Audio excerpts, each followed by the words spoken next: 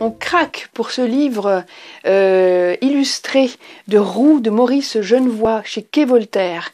Une petite merveille illustrée par Gérard Dubois qui est multiprimé en tant que dessinateur, qui a dessiné pour le New Yorker, le New York Times entre autres. Et, euh, pour ce, très bel ouvrage toilé, euh, Maurice Genevoix, évidemment, Maurice Genevoix, c'est celui qui a été connu et reconnu pour euh, ceux de 14, où il décrivait ses blessures de guerre et la guerre en, elle-même, qui est un texte majeur en littérature française, et puis qui avait eu le prix Goncourt pour Rabelio. Et ce texte-là, magnifique, c'est pas seulement l'histoire d'un chat, c'est bien plus que ça. C'est une petite merveille qui, qui est un indispensable de nos bibliothèques. Il faut vous l'offrir, il faut l'offrir aux autres. C'est une vraie petite merveille pour cette fin d'année.